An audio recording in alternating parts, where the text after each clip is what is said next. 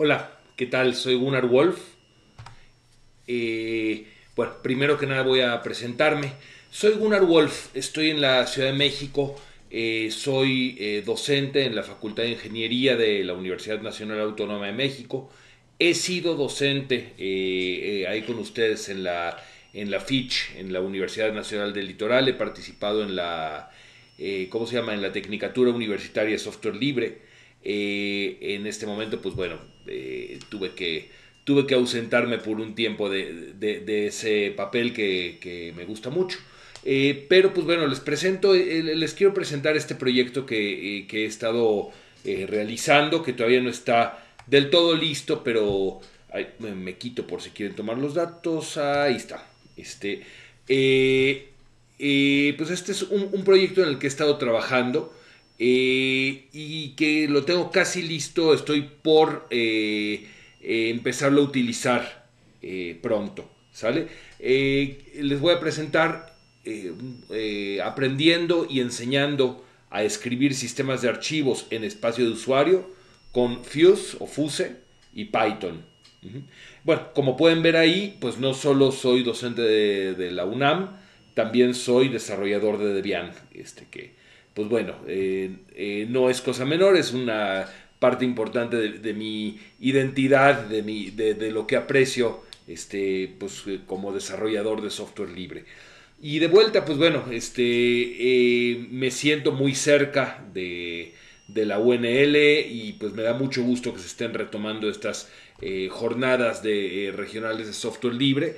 es muy valioso pues, el trabajo que se viene realizando ahí veo que, bueno, eh, no importa, eh, mi, configuración aquí de video es una cosa medio rara, así que iré haciendo pues lo mejor posible.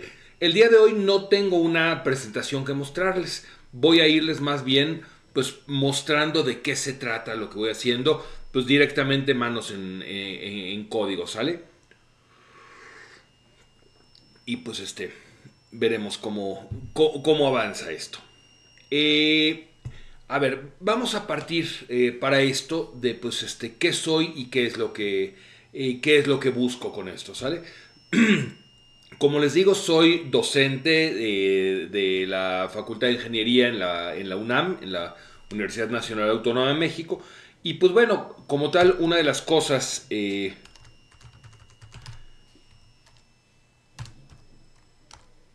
una, de las cosas que busco... Oh, no, eh, perdón, hay que hacerlo del tamaño correcto. Ah, así. Bien. Una de las cosas que busco con mis alumnos pues es irles enseñando eh, de sistemas operativos a través de pues algunas eh, tareas, prácticas y proyectos como lo haría básicamente cualquier docente. Déjenme, ah, pero esto me voy a asomar al repositorio del semestre anterior porque ese proyecto todavía no lo planteo a mis eh, estudiantes actuales. Bueno, eh, les voy a presentar eh, brevemente un proyecto que normalmente, no, estos son exposiciones, un proyecto que normalmente dejo, ya, ya lo he dejado, si no me equivoco, seis veces durante los diferentes semestres que he tenido. No importa que no lo, que no lo puedan leer a detalle, pues bueno, voy a estar, estoy tomando esto como punto de partido.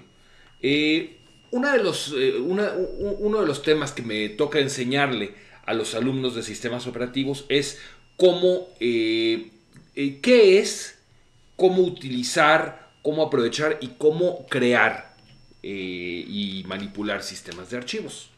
Entonces, pues bueno, lo que lo que hago normalmente para evaluar esa unidad es dejarle a los alumnos un proyecto, eh, un proyecto que es el desarrollo de un microsistema de archivos. ¿Por qué micro? Pues bueno, porque si bien uso eh, si, bien eh, en el curso les voy enseñando un sistema un poco más, este, real, más completo, complejo, pues bueno, sería un proyecto muy pesado eh, imaginar que hicieran un sistema de archivos pues este de producción, ¿no? Vean cuánto tiempo ha tomado, por ejemplo, el desarrollo de BTRFS para estar en un estado utilizable o algo por el estilo. Entonces, bueno, aquí les eh, planteo cómo va a ser el sistema de archivos ejemplo que les pido que implementen. Eh, ¿Qué es esto? Bueno, pues le pido a los alumnos que implementen algo que podría caber eh, pues como en un disquete. Yo sé que hoy en día pues esto ya es un implemento súper histórico, pero piensen en un medio de almacenamiento de 1440 kilobytes con algunas características que lo hacen casi creíble. Por ejemplo, lecturas de espacio de, sí, lecturas en bloques, este, eh, estructura del espacio en clusters, crear un directorio, ¿no? Eh, aquí está, por ejemplo, el primer clúster es el superbloque, eh, debe tener siempre la cadena FI1MFS, que es el nombre de mi sistema de archivos, al principio, tiene que presentar la versión de la versión, el, número de versión que está implementando, porque le hago cambios de semestre a semestre, si tiene que validar que sea el correcto, bien la etiqueta de volumen, cuánto mide el clúster, etc. Y bueno, y les detallo además cómo son cada una de las entradas del directorio. ¿No? Ah, pues va a tener aquí el nombre de archivo, aquí el tamaño, aquí a partir de qué clúster está, detalles de fechas, etc. ¿Sale? Bueno, este es el punto a partir del cual le, intento eh, enseñar esto a, mis alumnos. Ahora, eh, ¿por qué desarrollo un proyecto nuevo para esto y en qué consiste este proyecto que les, eh, que les quiero presentar? Aprendiendo y enseñando a, escribir sistemas de archivo en espacio de usuario. No sé si están familiarizados con lo que es Fuse. Fuse es un, eh, un, un, módulo de kernel que me permite crear eh, eh, eh, presentarle al usuario un, conjunto, vamos, algo abstracto de, la forma que sería, de la forma que se presentaría un sistema de archivos real. Puedo ponerles aquí un, ejemplo, digamos, que se use en producción, que yo, al, menos yo uso en producción para algunas cosas, y en un momento paso a a ejemplificar con, el código que les estoy presumiendo o demostrando. Eh, hay, hay diversos sistemas de archivos basados en Fuse. Yo uso mucho uno llamado SSHFS. Y SSHFS básicamente lo que hace es, eh, es un cliente de sistemas de, archivos basado en el protocolo de transferencia de Secure Shell. Entonces yo aquí puedo eh, montar como si fuera localmente un pedazo de, disco que está en cualquier lugar del mundo, en un servidor al que yo tenga acceso, y la comunicación entre ellos no va a ser SMB, no va a ser NFS, que tienen claro su lugar de ser, sino que va a estar sobre Secure Shell. Y eso lo hace muy conveniente, por ejemplo, para cruzar firewalls o, incluso simplemente para pues, eh, manejar la compresión y cifrado de datos que esto presenta. Por ejemplo, pues este, yo tengo un, eh, yo, yo pago pues un, servidorcito en Estados Unidos donde tengo mi página personal y ahí, eh, y, lo que quiero es conectarme a esa máquina y ver, por ejemplo, el, el, directorio donde, donde gestiono mi página web. Entonces vamos a crear un, eh, un directorio que se llame remoto y le voy a decir sshfs gwolf.org eh, gwolf.org ah claro perdón. Lo quiero en eh, ok en remoto.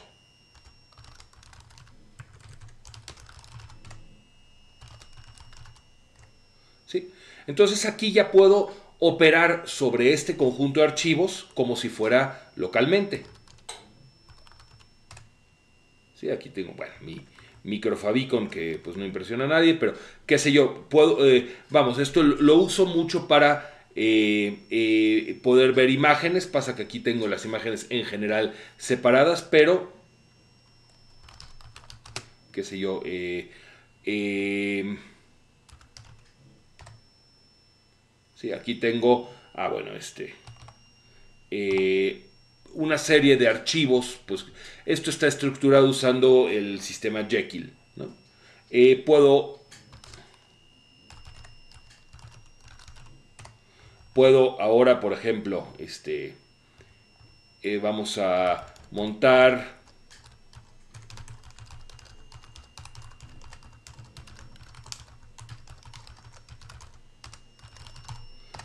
en este mismo lugar me conecto al espacio que tengo, eh, eh, que tengo como desarrollador de Debian. Y bueno, y aquí tengo otro par de, eh, cosas que, por ejemplo, la información de firma de llaves que usamos en el DevConf de este año, ¿no? Ah, pues todo esto. Ok, buenísimo. puedo trabajar localmente como si lo tuviera ahí. Bueno, ¿a qué voy con esto? Lo bonito de Secure, Shell, eh, de Secure Shell File System, de SSHFS, es que aunque se le presenta al usuario como parte del sistema de archivos montado, como si fuera parte de su espacio de usuario, no estoy tocando código de kernel para esto.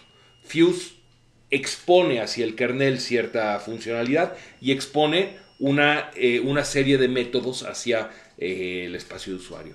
Entonces yo puedo hacer esto desde lenguajes de alto nivel.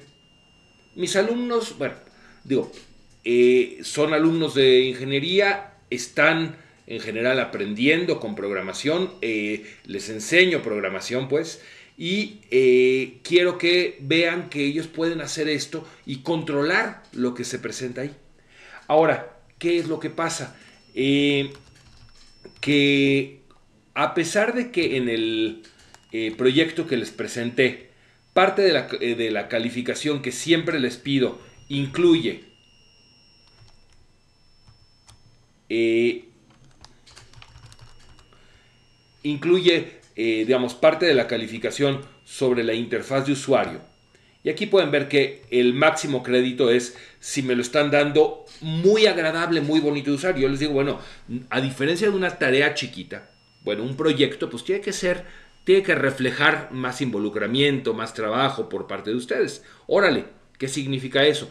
Pues bueno, que si, si quieren la nota máxima, ah, bueno, pues denme una eh, interfaz gráfica o una buena navegación textual que no sea un simple menú y que yo no tenga que estar reapretando, que sea agradable de usar, que sea bonito y que sea fácil.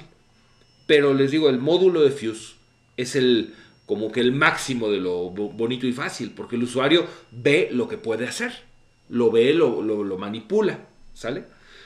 Y, y, bueno, mi frustración en este sentido viene de que históricamente, desde eh, cuánto tiempo tiene, bueno, eh, lo conté hace poquito, eh, llevo más o menos seis, seis, o siete aplicaciones de este, de, de este proyecto, pues no he recibido eh, ninguna implementación. He, recibido solamente una implementación con Fuse. Entonces, ¿cómo puedo eh, ayudar a que haya más implementaciones de este tipo? Ayudar a demostrar que, no es difícil hacerlo. Pues posiblemente eh, haciendo algunas este, implementaciones por mi cuenta. Ahora, ojo, existen algunas implementaciones este, llamémosle, eh, amigables. Eh, digo, sí, hay varios, llamémosle, blogazos que, explican cómo hacer esto, pero no me parece que estén llegándoles al público como, eh, como, pueden ser mis alumnos, como puede ser alguien novato en esto. Por eso yo levanté este proyecto. este proyecto, a ver, voy a mover este navegador aquí para tenerlo bien a la mano y vamos a GitLab. Eh, lo tengo, eh, en, un rato más les paso esta dirección para quien la quiera tener a la mano. Lo tengo en gitlab.com, diagonal Gunnar Wolf, diagonal eh, Fuse, in, Python Guide. Sí, aquí pueden descargarlo, ver el código, participar en el desarrollo si, si quieren. Y les voy a mostrar brevemente qué es lo que tengo. Bueno, lo primero lo primero que quiero mostrar es cómo se crea un sistema de archivos vacío. ¿Para qué quiero un sistema de archivos vacío? Pues simplemente para mostrar lo mínimo que puede haber eh, que me dé eh, que, me permita usar Fuse. Algo que estoy intentando es eh, hacer una implementación, a pesar de que sea funcional, pues que sea limpia, que esté bien documentada como estaría un módulo Python, porque bueno, parte de dar una clase, parte de enseñar algo es mostrar buenas prácticas, ¿no? Este, eh, con estos docstrings, con suficientes comentarios, a pesar de que en un ratito les voy a mostrar que a veces los tengo que quitar, ¿sale? Bueno, pueden ver que esta implementación completa, bien documentada y todo, son 90 líneas de Python. Y pueden ver que más o menos la mitad de eso es documentación. Eh, ¿Cómo es la estructura de esto? Bueno, pues mi... Eh, bueno, este es eh, uso, uso común en Python, ¿no? Este, para poder usar esto como biblioteca, pues bueno, solo detecto si estoy siendo llamado como programa principal y si sí, llamo al main. ¿Y qué hay en este main? pues bueno, simplemente esta, esto ayuda, es, una ayuda general, vamos a mostrarla aquí.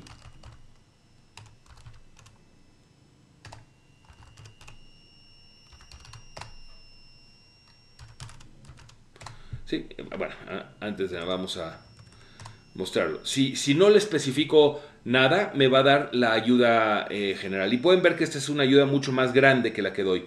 ¿Por qué?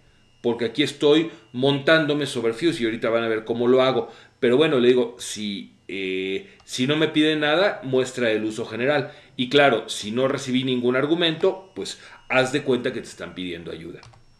Entonces, lo que aquí digo es presenta un sistema de archivos vacío que no se pueda, eh, eh, que, no se, que no presente nada que se pueda leer ni escribir, pero que exista. ¿sí? Esto únicamente como primer paso. Entonces, ¿qué es esto? Cuando yo lo llamo y le indico el nombre de un directorio MNT, ¿qué hay en, en, MNT? Pues nada. Solo que aquí pueden ver que, a ver, aquí no está montado y, este es un directorio como lo esperarían ver, ¿no? Propiedad de mi usuario. Y cuando lo monto, eh, perdón, ahí, pues la única diferencia es que dentro de mi pseudo sistema de archivos hay un, o sea, e, la raíz, el, directorio punto, que apunta a ese directorio mismo, fue creado el 31 de diciembre de 1969, que es la época de, e, e, es la fecha de inicio de época de Unix, ¿sí? Y pues bueno, que le pertenece a root y que tiene permisos únicamente de lectura y ejecución. Y eso es todo. ¿Cómo se hace eso? Bueno, pues eh, aquí estoy creando una clase llamada MTFS. MTFS hereda de la, clase Fuse que estoy importando de la biblioteca Fuse de Python. Y lo que hay que hacer para esto es implementar las llamadas al sistema que se van a eh, que se van a hacer eh, eh, para el uso de este, de, este, programa. ¿Cuáles son las llamadas al sistema que se van a hacer? readDir me da la lista de direntries, que es un, tipo de objeto cuyo único atributo que me importa pues es el nombre. Y como es un directorio vacío, pues mi directorio incluye al directorio actual y al apuntador al directorio padre. Eso es todo. Ojo, yield es una, eh, una construcción interesante. Me genera un iterador. O sea, cuando yo llamo a un directorio,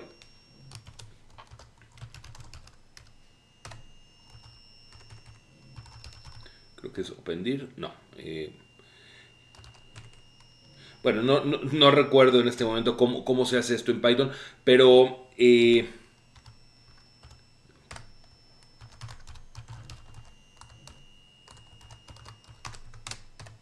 ¿sí? Esto es en Ruby. Cuando yo abro un directorio, voy a ir iterando. Entonces mi... Eh, eh, este yield no es un return, no regreso la lista completa, sino que voy entregando uno a uno eh, las, las, entradas del directorio conforme, conforme me las vayan pidiendo. ¿Sale? ¿Y qué otra cosa necesito para mostrar un sistema de archivos vacío? Pues bueno, si solo lo, eh, si solo lo eh, eh, entrego el nombre de archivo, a la hora de mostrar el directorio se ve muy feo y, de hecho se los, puedo mostrar. ¿sí? Eh, mostrar un, si, si esto lo comento.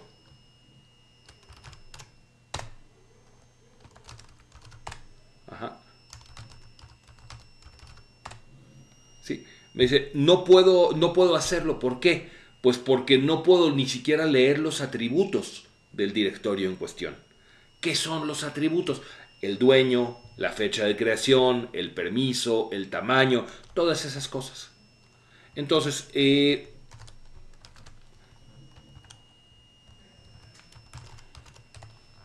eh, para eso necesito entregar los atributos. ¿Los atributos de qué? Pues únicamente de aquí se va, a llamar raíz, ah, eh, del, nodo, de la entrada de directorio más, digamos, la raíz de este sistema de archivos. ¿Y cómo lo voy a hacer? Bueno, pues voy a crear una entrada que de un objeto que se llama stat. Y eh, voy a indicar, bueno, de, a esto voy a entrar un poco más adelante. El modo con el que lo voy a entregar es, voy a indicar que es un directorio, y voy a ponerle los permisos en octal 555. Digo, esto pues si son eh, administradores de sistemas Unix lo van a reconocer. Si no, pues bueno, no, puedo ahorita dedicar eh, una sesión este, pues de 45 minutos a explicar todo este detalle. ¿no?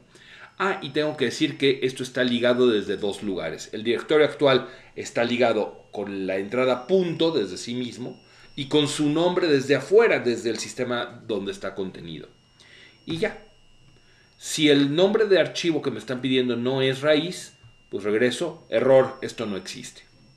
Y eso es todo. Con eso tengo el sistema de archivos Fuse más chiquito que hay. ¿Qué les parece? Bueno, pues vamos a dar un pasito más.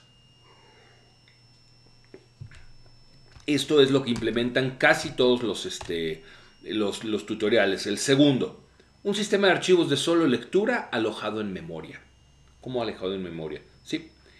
Este, diccionario es, es eh, el total de archivos que voy a mostrar. Un archivo llamado a file y su contenido va a ser, eh, bueno, y esto lo hice en inglés porque es para mis alumnos, pero bueno, yo estoy acostumbrado a desarrollar software libre hacia el mundo, entonces pues este, tengo la costumbre de desarrollar en inglés. ¿sí? estos son los contenidos. Y otro archivo que se llama second, y estos son sus contenidos. ¿Cómo va a funcionar? Bueno, ahora les muestro primero la lógica y luego se los eh, demuestro en la línea de comando. ¿sí? La invocación es la misma. Vamos a ver entonces eh, cuál es la estructura de Read Only File System. Entonces, esta es la clase, nuevamente hereda de Fuse. Y vamos a ver que aquí tengo ahora definidos tres llamadas al sistema. ¿sí? Que ya la conocemos, getAtter eh, eh, me muestra los atributos y read. Cuando, abro y leo un archivo, pues este, lo, que, lo que voy haciendo es llamar read sobre ese archivo con un par de argumentos que ahorita les muestro. La diferencia es que pues mi read podría haberlo entregado, eh, generado aquí estático, pero es buena práctica decir, bueno, ya que tengo un diccionario, digo, ah, bueno, voy a tener siempre punto y punto punto, o sea, el directorio actual y liga al directorio padre, porque eso es obligatorio en un directorio en Unix. Y voy a agregarle el conjunto de llaves de mi diccionario, o sea, los nombres de archivos. Y otra vez voy, eh, voy entregándolos con yield. Bueno, aquí para entregar los atributos tengo que hacer ya una distinción. A ver, me están pidiendo el directorio raíz. Si sí, pues es exactamente lo mismo que entregamos hace rato. Pero si me están pidiendo un archivo que, pertenece a, estas llaves, o sea, solo si es un archivo correcto, eh, y está iniciando con, un, eh, con una diagonal, tiene que, tener este como eh, especificación, pues bueno, entonces le informo a, a quien me llama que es un archivo regular, un archivo estándar, y tiene modo octal 444. Esto es lectura para, eh, para, el dueño, para el grupo y para el resto del mundo. Está vinculado únicamente desde un lugar y entrego su tamaño. Es importante entregar el tamaño porque cuando hago la lectura, aquí adelante, pues tengo que indicar cuánto quiero leer y podría no indicarlo, pero bueno, varios programas se confunden cuando no lo saben. Aunque en un ratito les voy a mostrar que pues no es tan tan de cajón, no, no, no es tan eh, indispensable. ¿no? Y claro, si el archivo no existe, pues simplemente indico esto no existe. Ahora, ¿cómo se lee el contenido de un archivo? Aquí hay muchos truquitos. Esta es la primera llamada al sistema que es un poquito complicada. Primero, esta llamada al sistema me da el nombre de archivo a leer y me eh, pide tamaño y offset. Offset es a partir de dónde, porque si yo tengo un archivo muy grande, para no tener que leerlo completo a memoria, el programa le puede pedir al sistema de archivo, dame desde aquí hasta acá, procesar este cacho. Y luego, dame desde acá hasta acá. y así va avanzando. Bueno, entonces, eh, tengo que saber si el archivo existe. Entonces, inicio diciendo que es falso y que no tengo contenidos. Si es que el archivo eh, que me piden pertenece a las llaves que tengo, eh, eh, digamos, considerando el, inicio, así, marco que es verdadero y pues traigo los contenidos, marco estos contenidos para entregarlo.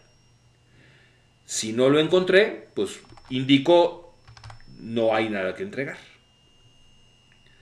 Eh, aquí lo que hago es medir la longitud de mi cadena y pues bueno, si me están pidiendo leer a partir de un punto que está más allá de esa cadena, eh, entrego una cadena vacía. Pero si está dentro de lo permisible, bueno, pues entrego la cantidad de bytes eh, que me dieron, que me pidieron. Aquí hay un puntito más, notarán que esto es B, comillas, comillas, y que aquí esto lo estoy eh, calificando con bytes y calificando con bytes. ¿Por qué? Pues porque los archivos no son cadenas de texto. Eh, no puedo meterme ahora, pero les pido que si esto les suena raro, revisen bien el manejo de UTF en, lenguajes como Python. Eh, esto es un punto que puede causar muchos dolores de cabeza y sí, sí tendría que explicarlo tal vez un poquito mejor. Pero lo único que puedo leer o escribir del disco son cadenas de bytes, no cadenas de texto. Bueno, entonces, ¿cómo se ve esto?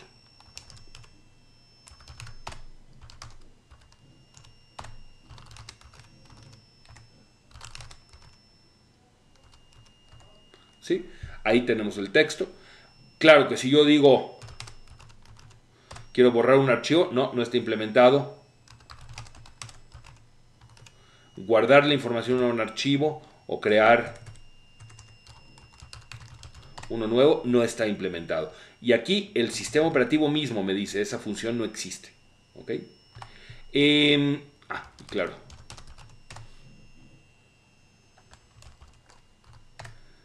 Aquí todos los objetos que existen desde, dentro de este sistema de archivos son de solo lectura, le pertenecen a root y fueron creados el 31 de diciembre de 1969.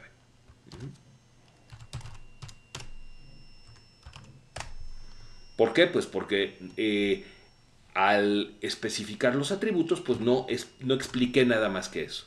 Eh, no me he metido en, esos detalles en los que voy a entrar eh, en breve. Ok, siguiente paso. Lectura, escritura. Ah, bueno, pues aquí ya metemos otra, otras dos, creo, llamadas al sistema. Truncate y write. Las dos son necesarias para poder escribir en un archivo. Y su lógica pues es muy sencilla. Truncate lo que hace es cambiar, determinar el tamaño total de un archivo. Si yo voy a modificar un archivo, digamos, eh, muchas veces al hacer el open ocurre por debajo un truncate. Y si voy a escribir al archivo, pues lo hago eh, empleando write. Entonces me voy a saltar eh, algunos pedacitos porque, bueno, no hay muchos cambios en redir. Ah, sí, aquí hay un cambio digno de mencionar. Pueden ver que aquí el modo Ahora le, estoy dando 0644. Esto significa que sí estoy permitiendo lectura y escritura para el dueño del archivo. Eh, Ok, read es idéntico. Truncate. Truncate especifica el tamaño que va a tener eh, este archivo. Si el, si el archivo es más grande, eh, o sea, estoy haciendo el archivo más grande de lo que es, le voy a agregar, o, sí, eh, se va a convertir en una colección de caracteres cero. ¿sí? Pero bueno, aquí en, Truncate, pues este, eh, sí, aquí le estoy agregando estos caracteres vacíos. Aquí estoy efectuando la, la, truncación, pues es a fin de cuentas una estructura en memoria. Y aquí permito la escritura. De vuelta, no quiero ver línea por línea, no es lo que me interesa hacer con esta charla, sino mostrar que son, que, es, que son funciones sencillas, que no tienen magia eh, negra, que magia extrema, pues simplemente hay que hacer un poquito de lo que en México le llamamos talacha, un poquito de, de, trabajo manual para hacer un, par de cuentas, pero bueno, e, es muy sencillo hacerlo. Entonces, con esto, y aquí creo que hice un pequeño cambio al principio, no, esto sigue exactamente igual. Bueno, entonces... Eh, ah, claro. Vamos a mostrar el, 3. Pueden ver que aquí los archivos son de, lectura-escritura para root. Eh, van a ver que me voy a saltar aparentemente los permisos de Unix. Eso por, por un detalle mío. Aquí no me había fijado cuando lo implementé que esto era propiedad de root, pero van a ver, yo aquí soy usuario normal.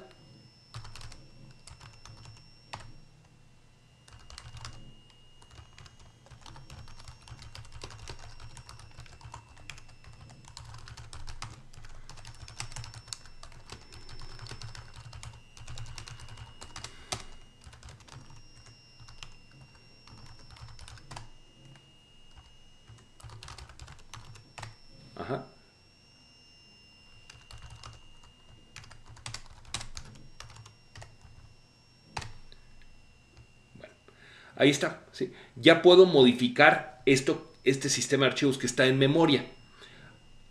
Cualquier eh, administrador, Unix me, decía, me diría, oye, espera, este permiso no le corresponde al usuario actual, a GWolf. Pues no, este sistema de archivos simplemente lo permite. Si yo quisiera implementar esas verificaciones, tendría que hacerlo este, eh, en el código que no metí, pero bueno, lo estoy empezando implementando algo sencillo. ¿ok? Eh, eh, ¿Qué más?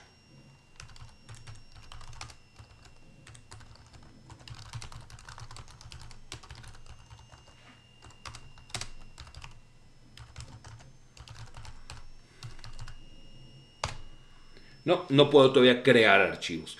No, no recuerdo exacto hasta dónde llegaba, hasta dónde no, este, pero bueno, eh, eh, tendría que eh, agregarle tal vez el cómo crear archivos, pero serían ir agregando llamadas, llamadas al sistema nuevas. ¿no? De, de, vuelta yo lo que estoy intentando aquí es mantener esto tan simple como sea posible. Bueno, ¿qué más?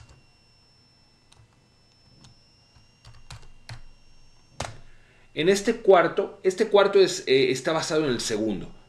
vuelvo a tener un sistema de solo lectura, pero aquí eh, le agregué lo necesario para eh, presentar los metadatos. Miren, ahora se los presento acá primero y luego paso a explicarlo.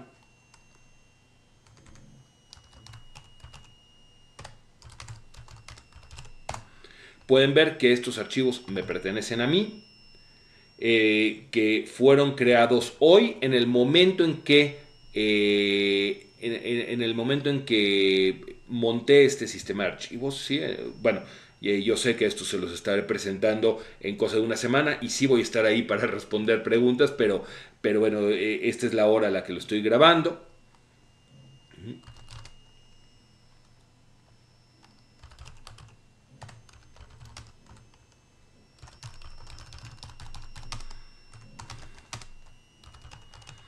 puedo reescribir. Y claro aquí cambia el tamaño este eh, en fin no puedo hacer varias cosas por ejemplo.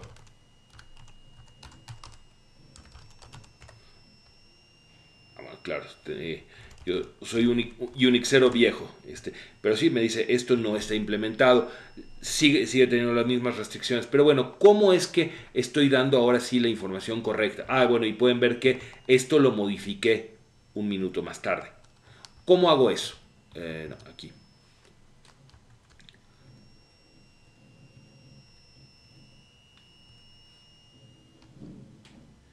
este se llama With Data Handling FS. Sigo manejando estas mismas cinco llamadas al sistema.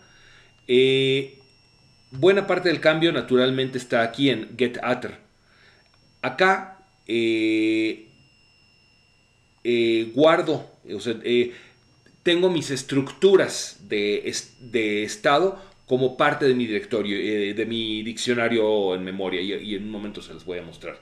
Pero bueno, aquí pueden ver que esto básico, pues se, lo modifiqué ahí mismo. Y... Em, eh, eh, eh, acá.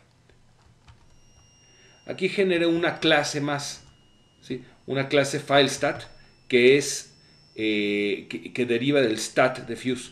¿Por qué? porque aquí estoy facilitándome muchas cosas, ¿no?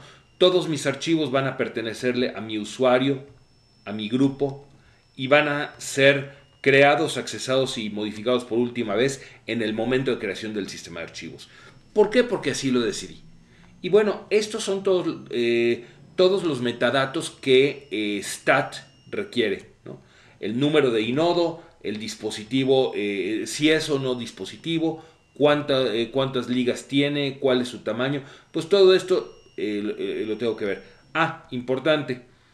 Por facilidad, aquí eh, me creé este método Epoch Now, que, eh, que lo que me es una conversión de la hora actual a el formato de, la, de la época Unix, que es el número de segundos que han pasado desde la medianoche en Greenwich del, del primero de enero de 1970. O sea,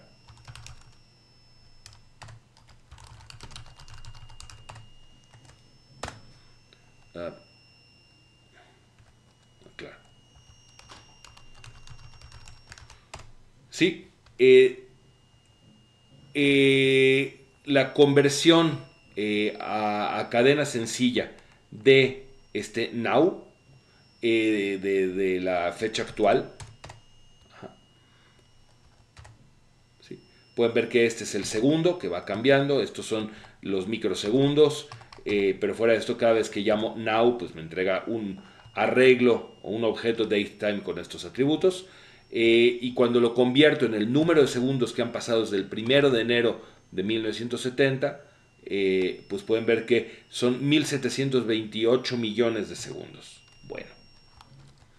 Em, y File Data, eh, aquí mi, diccionario ahora va, a incluir estos metadatos de, del archivo y pues va a guardar también sus contenidos. Entonces, cuando yo creo un nuevo eh, archivo, ¿sí? es, al inicializarlo, recibe los bytes que va a contener y los guarda aquí. Y bueno, genera un eh, objeto FileStat y le, le, asigna lo básico que son el tamaño de los contenidos ¿sí? Y eh, la modificación y, creación, la fecha de modificación y creación. Eh, cada vez que leo de ese archivo, pues actualizo este atributo y cada vez que lo modifico también lo, lo actualizo, ¿sale? Entonces, pues pueden ver que, van siendo pasitos pequeños. Me apuro porque estoy ya cerca del final. En fin, eh, hay un quinto paso que ese ya no lo voy a eh, detallar, aunque es eh, un poco más sencillo. Aquí me reduje nuevamente a solo tres llamadas porque es de solo lectura. Pero lo que este presenta es un pass-through, es como un, una vista que se la pasa a otro sistema de archivos. O sea, si yo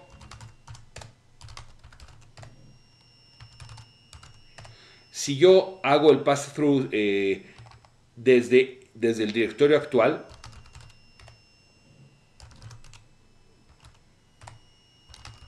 En el directorio actual voy a tener una copia del directorio donde estoy trabajando, solo que con esta diferencia.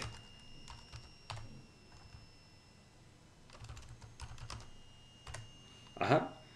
Eh, el directorio creado, eh, todos los atributos son de, solo lectura.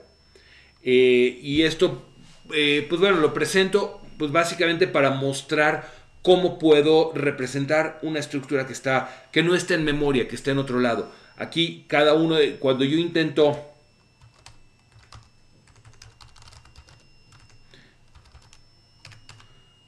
Cuando yo intento leer algo, pues lo que hago es leerlo desde MNT y dentro de MNT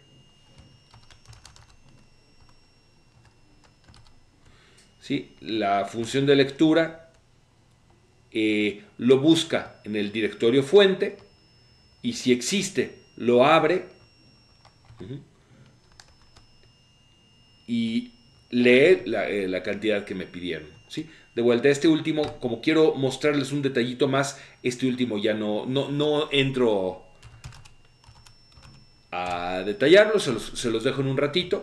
Eh, entonces, esos son los cinco pasos que, generé como para explicarle, para, para ilustrarle a los alumnos cómo es lo básico de escribir un sistema de archivos Fuse.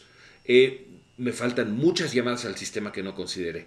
Pero bueno, este, es, eh, eh, le da por lo menos a entender, a sentir a los alumnos cómo es el proceso de desarrollo. Y pues como se me iban ocurriendo ideas eh, de, cosas que podrían ser divertidas, me generé un directorio llamado Useful. Aquí lo que tengo son cuatro ejemplos de cómo puedo también en, en poquito código hacer algo útil. Por ejemplo, DNSFS es un sistema de archivos para consultar DNS. ¿Qué? Sí. Acá veo A, 4A, CNAME, MX, PTR y TXT. Son, eh, eh, son los, eh, cada uno de estos directorios es un tipo de consulta que yo haría en red si quiero consultar este, algo por DNS. ¿Y cómo lo uso? En MNT diagonal A o 4A no tengo nada, pero si yo pongo cat, por ejemplo, MNT diagonal unl.edu.ar, no, es unl. ¿Cómo a ver, eh, perdón, pero bueno, eh, eh, flisol, edu, flisol.org.ar. ¿Cómo que no?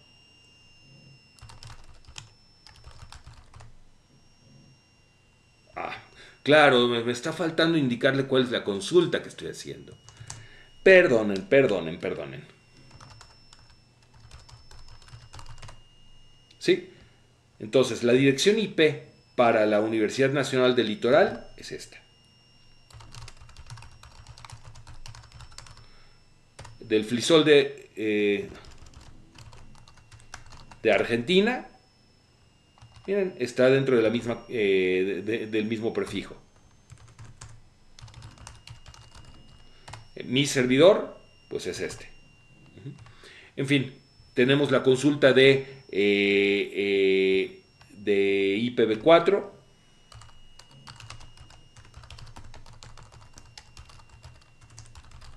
IPv6. Claro, este formato es medio feito, tendría que presentarlo de otro modo.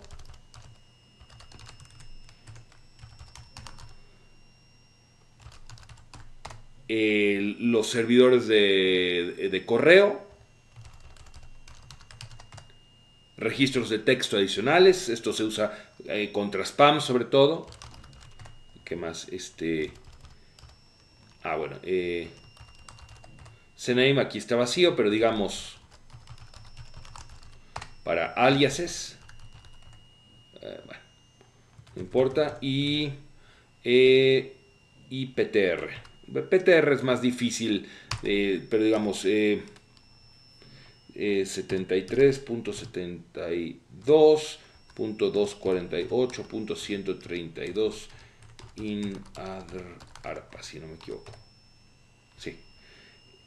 Eh, bueno, esta es mi red local, así que esta es una resolución local que, estoy haciendo. Bueno, este es un, sistema de archivos que se implementa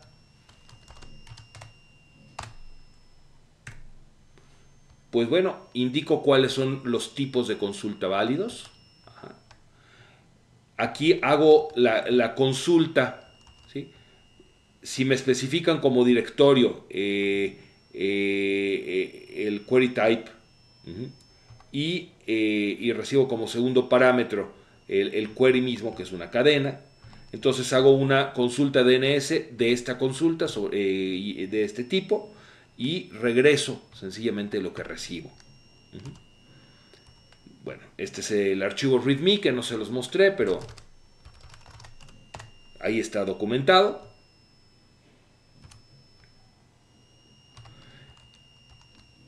Eh, y, ah, claro, aquí eh, pues este, ya vieron que pues, los directorios los generé de la nada. Eh, GetAtter, eh, los atributos, pues ya los tienen. Read, la lectura, pues no, no, puedo verificar si un archivo existe o no. Lo que hago es intentar hacer una consulta. Y si obtengo la consulta, la entrego.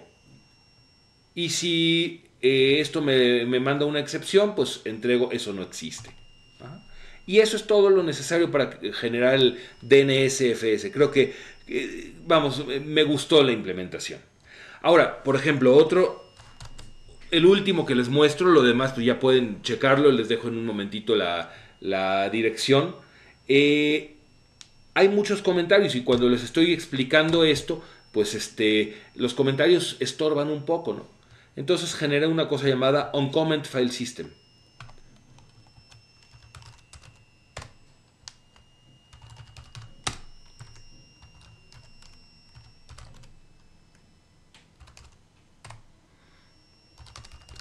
Ajá, en MNT tengo nuevamente una copia del directorio actual, pero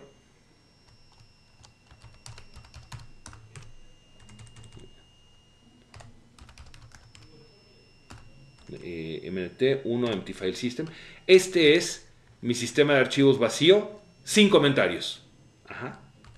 Este es mi archivo eh, eh, eh, read only sin comentarios. Entonces pueden ver que aquí con 56 líneas ya tengo un sistema de archivos de solo lectura. A ver, el más complejo de, los que les mostré está en 69 líneas. ¿Cómo hago esto de quitarle los comentarios? Eh, es bastante falible, eh, no es bonito, pero pues se, los muestro aquí. Y, no se los muestro sin comentarios, ahora les explico por qué. ¿Sí? Acá, pues todo esto es normal, la única diferencia es cuando leo un archivo. Cuando leo un archivo, aquí hago una cosa eh, horrible, que es, lo voy armando en memoria. ¿sí? Y bueno, hay dos tipos de comentarios en Python. Los docstrings, que son estos que empiezan con tres eh, eh, comillas y terminan con tres comillas. Esta es la documentación. Y estos son los comentarios. Pues bueno, los comentarios son muy sencillos de quitar. Em, quitar los comentarios es simplemente para cada línea que estoy leyendo, si esta línea tiene eh, el, símbolo de comentario, pues a partir de la posición donde esté el comentario eh, y hasta el final, lo trunco. Los docstrings, que pueden ser de triple, eh, de triple comilla sencilla o triple comilla doble, me requieren entrar y salir de un modo. Entonces, para esto generé una variable indocstring eh, que puede estar no estoy dentro, estoy en uno declarado con cadena sencilla o estoy en uno declarado con cadena doble. Realmente es, es sucio y es falible, pero mayormente funciona. Ah, y aquí también quito las líneas vacías. Bueno, eh, ¿por qué les digo que es tan falible? Vean. como un comment fs tiene aquí este b eh, o sea aquí estoy viendo si estoy dentro de un docstring entonces aquí vienen comilla comilla comilla entonces pues bueno esto mató al, resto del listado del programa este no este no funcionaría pero bueno los demás sí sale en general es es eh, muy eh, es falible, es muy falible, pero pues este es una implementación para mostrar. Tengo otras dos, una es eh, solo para demostrar que se puede compilar en vivo el Markdown, otro que puedo usar eh, un sistema de archivos. Eh, es, creo que hasta ya me pasé del tiempo que tenía asignado, les tengo que pedir una disculpa por eso. Bueno, sé que, sé que ahora me voy a conectar para, para responderles preguntas en caso de haberlas pregúntenme, espero, espero haber despertado su interés, espero que este proyecto les parezca de algún modo interesante y pues este quedo a sus órdenes, este espero eh, pues bueno, me, da mucho gusto participar en las eh, jornadas regionales. Tengo que agregar una cosa, a pesar de que estoy eh, pasado de tiempo. Aquí en México, bueno, eh, algunos de ustedes me conocen, yo estoy eh, en contacto con Argentina, he vivido ahí, viví en la ciudad de Paraná este, eh, unos meses, tengo familia en Paraná y realmente se, se, me hace muy triste lo que, lo que ocurre políticamente en su país.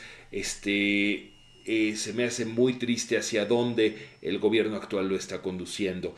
Espero que, que puedan resistir a los embates del, capitalismo eh, desenfrenado que está intentando el, el loco presidente que tienen y espero que muy pronto Argentina vuelva al camino del desarrollo. El desarrollo solo se puede lograr mediante un Estado fuerte que cuide eh, y que provea eh, los satisfactores mínimos a su pueblo. no soy economista, aunque vivo rodeado de ellos. Este, no tengo yo cómo garantizar que lo que digo tiene eh, sustento o que es sensato de alguna manera, pero si vemos cómo ha sido el desarrollo de nuestros países, el de ustedes, el mío y casi cualquier otro, el, el neoliberalismo, la ausencia del Estado nunca han llevado a la mejoría de la población y la presencia del Estado como entidad regulatoria eh, siempre ha llevado a, mayor prosperidad. Espero que vamos, eh, leía recientemente las protestas que, que, hubo el día de ayer, este, y sé que han estado teniendo protestas día tras día, semana tras semana. Espero que eh, Argentina vuelva al, camino del desarrollo que requiere de un Estado grande y fuerte. En fin, espero no, no haberme eh, logrado las antipatías de muchos de ustedes. Sí, sí, que sea solo un poquito. Volvamos a, rollos técnicos. Es simplemente un comentario con el que tenía que cerrar. Hasta luego, nos vemos en un momentito conectados en vivo.